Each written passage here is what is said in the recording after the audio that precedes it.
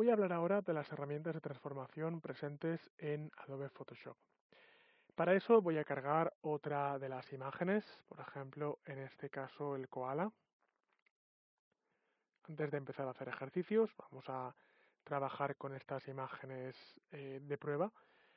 Y una vez que tengo el koala, veremos que la herramienta más básica de transformación que tenemos hasta el momento es la herramienta de seleccionar y mover. Por tanto, pinchando en seleccionar y mover, de momento lo que vamos a obtener es un mensaje de advertencia, de error, que me dice que no se puede usar la herramienta mover porque la capa está bloqueada. Y efectivamente, la capa está bloqueada. Así que doble clic a la capa, la desbloqueamos y ahora sí puedo pinchar y mover, puedo transformar el objeto. Lo único que ocurre es que pinchar y mover probablemente sea poco para la cantidad de transformaciones que queremos realizar. Así que puedo hacer también lo siguiente. Voy a ir a edición y dentro de edición voy a encontrar que tengo un menú de transformar. Si en un momento dado ves que el menú de transformar está bloqueado, está eh, semi-transparente, como por ejemplo este menú de aquí, es porque no has desbloqueado la capa de fondo. Así que Desbloquear la capa de fondo no es una opción, es obligatorio para poder eh, mostrar el contenido de este menú de aquí. Bien, dentro de este menú de aquí vamos a ver transformaciones más complejas que la transformación de mover que hemos visto hasta ahora. La primera de ellas es la transformación de escala.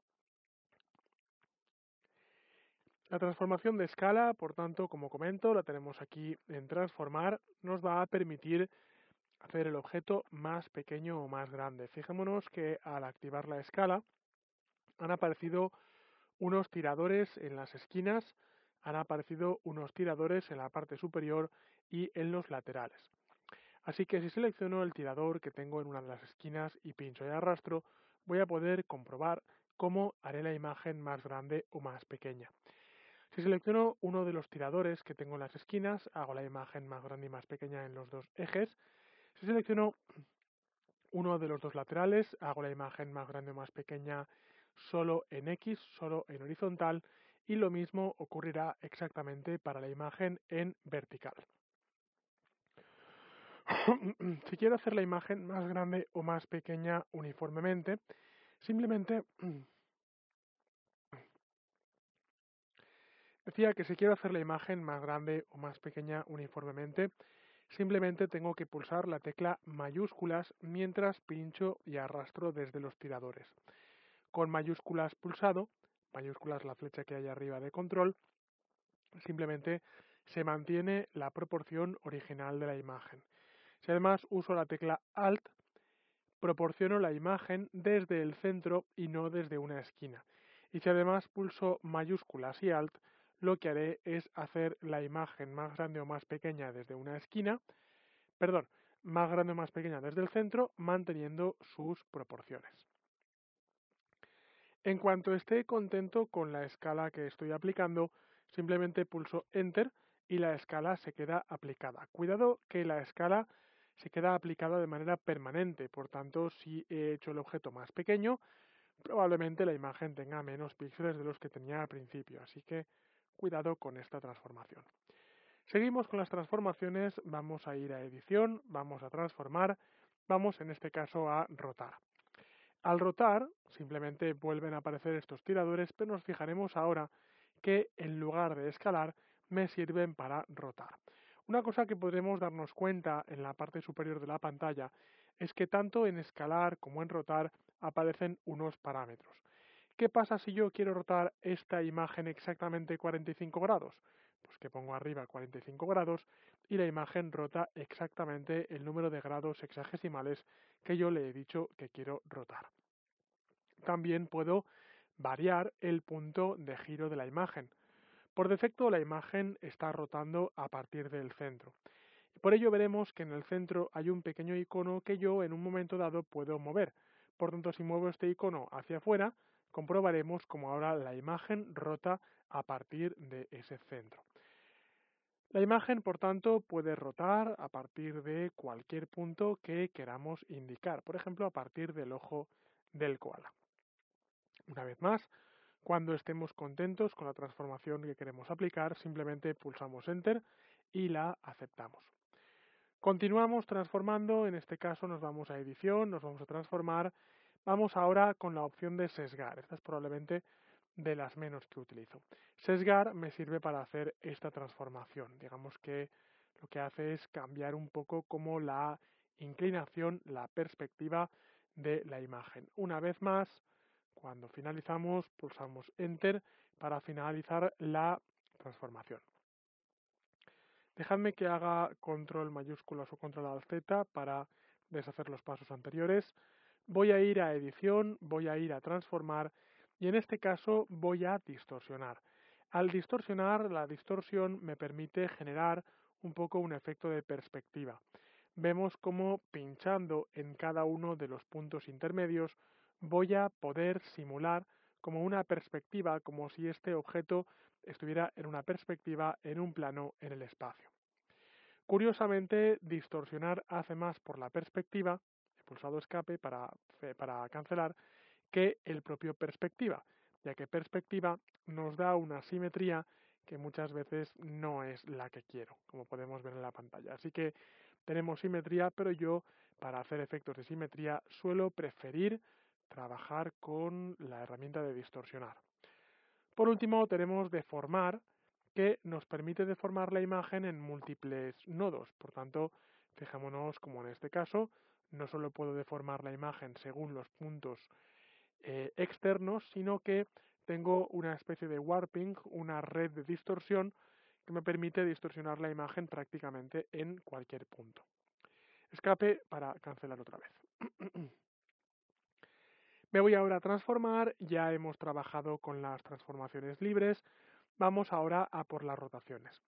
He rotado antes en un ángulo aleatorio, pero ¿qué pasa si lo que quiero hacer es rotar en ángulos definidos? Pues en ese caso puedo o bien rotar 180 grados, es decir, dar la vuelta a la imagen, o bien eh, edición, transformar, o bien rotar 90 grados a la derecha, o bien rotar 90 grados a la izquierda. Cada vez que estoy volviendo es porque estoy pulsando Control Z para deshacer o Command Z si estás en Mac. Así que en edición transformo y una vez que hemos visto las transformaciones libres, una vez que hemos visto las rotaciones con ángulos predeterminados, vamos a los volteados. Volteado horizontal, volteado vertical. Volteado horizontal sirve para hacer un espejo en el eje horizontal. Antes teníamos al koala, digamos, situado a la derecha, mirando hacia la izquierda. Ahora tenemos al koala situado a la izquierda, mirando hacia la derecha. Control Z para devolver lo que teníamos antes. Y dentro de edición transformar tenemos también volteado vertical para darle la vuelta. No es lo mismo volteado vertical que rotar 180 grados. Déjame que duplique la capa, te lo voy a demostrar. Entonces, ok, por aquí. Y lo que voy a hacer es lo siguiente. Vamos a verlo. Eh, en esta capa, en la capa 0, voy a crear una transformación de rotar 180 grados, mientras que en la capa 0 copia voy a crear un volteado vertical. Mientras que esto es lo correspondiente a rotar 180 grados, esto es lo correspondiente a realizar un volteado vertical. Por tanto, podrás comprobar cómo efectivamente no es exactamente lo mismo. Esto es lo que tenemos en cuanto, déjame pulsar control Z para deshacer. Esto es lo que tenemos en cuanto a herramientas de transformación. Ahora, hay un truco en cuanto a herramientas de transformación que me permite pulsar control Z o command Z si estás, eh, perdón, control T o command T si estás en Mac y con, y con control T aparece un super transformador que hace lo siguiente. Mira, si pongo el ratón en la esquina, lo que estoy haciendo es escalar. Pero si separo un poco el ratón de la esquina, lo que estoy haciendo es rodar. Y si pongo el ratón dentro de la imagen, lo que estoy haciendo es mover. Por tanto, como puedes ver, ese transformador me permite tanto mover como rotar como escalar a la vez, en lugar de tener que llamar a tres herramientas diferentes. Por supuesto, siempre que acabo, o bien pulso Enter para aceptar las transformaciones, o bien pulso Escape para cancelar las transformaciones y volver atrás. Y por supuesto, si he pulsado Enter y he aplicado las transformaciones, pero de repente me doy cuenta de que quiero deshacerlas, pues Control Z si estás en PC, Command Z si estás en Mac y vuelves al paso inicial.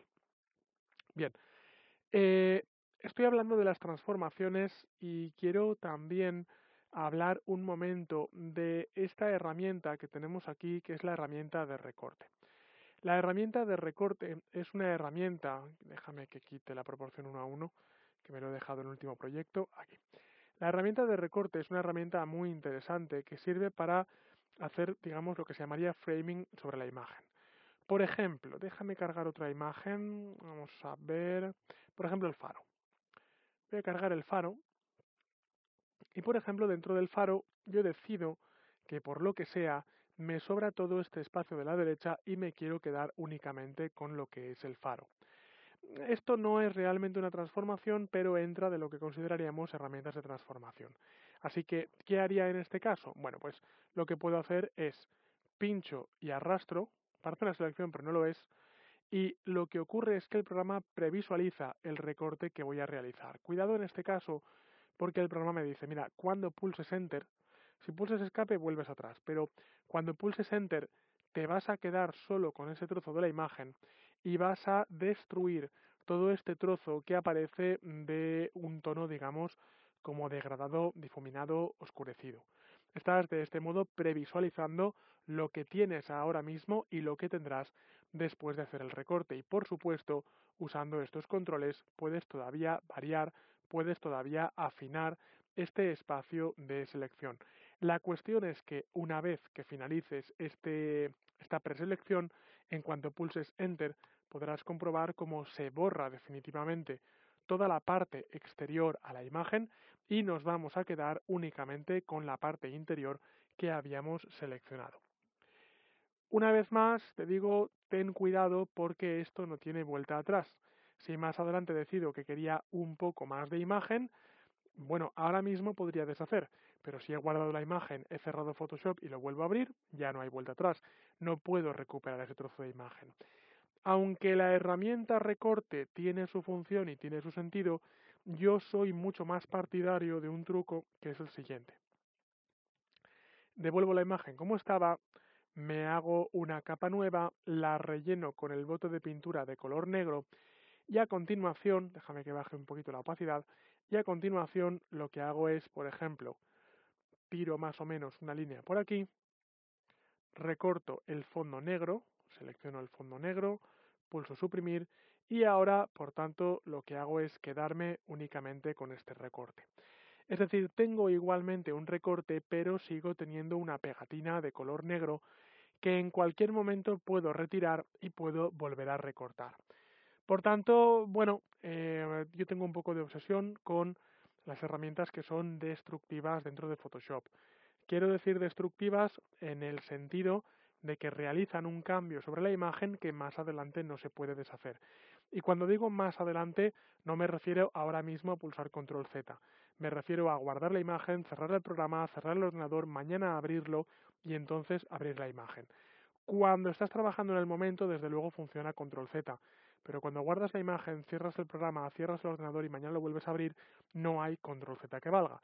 Así que esto es a lo que me refiero con operaciones destructivas sobre la imagen.